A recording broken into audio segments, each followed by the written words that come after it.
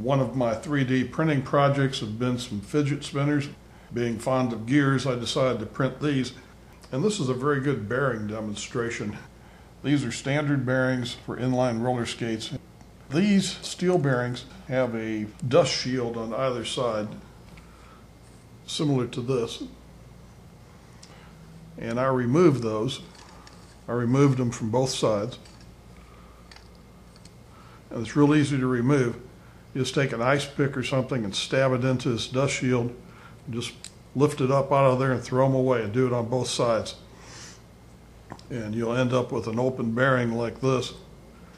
And then I use WD 40 or kerosene or get these completely clean of the grease that was packed in there. And then finally, I give it a little bit of uh, gun oil. These spin pretty well, but not for very long. Same way with this. For a dollar or so more, you can get ceramic bearings. They're open on one side and they have a plastic spacer that's inserted from the back side. And these require no oil. And these spin for a long time.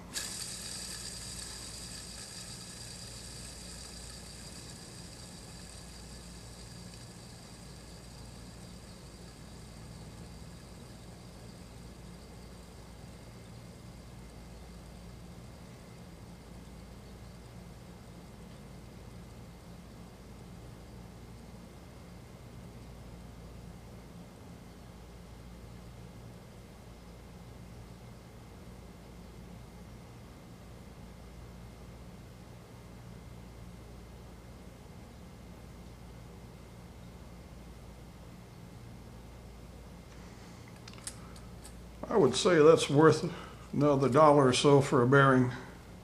And these, much the same.